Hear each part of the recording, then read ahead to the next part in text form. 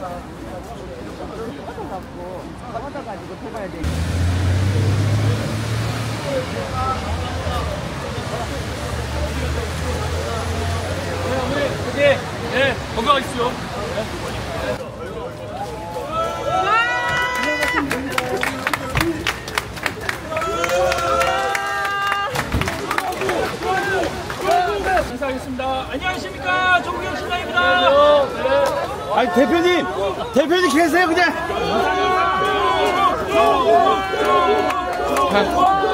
대표님 하시면 안 돼. 이게 탔잖아 지금.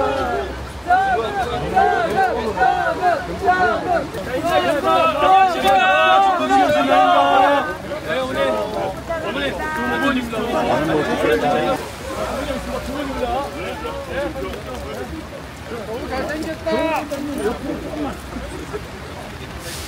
네.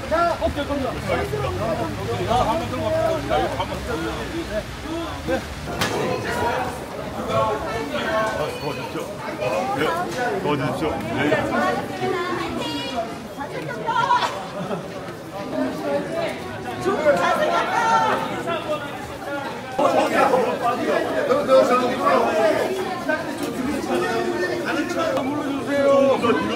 조금만 저희랑 거리를 좀 두십시오.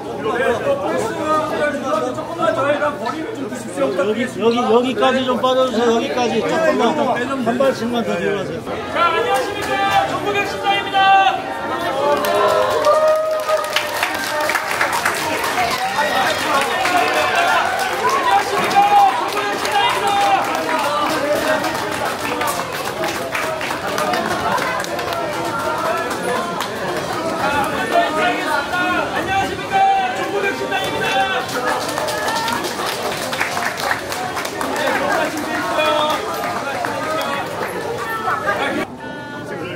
카페 주지 마시고요.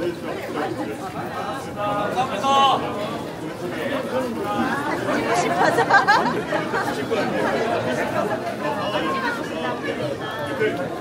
찍고 싶어서.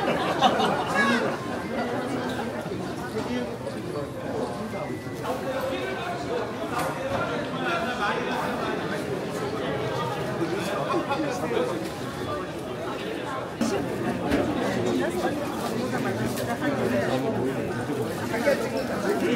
안녕하십니까. 정국영 신당입니다.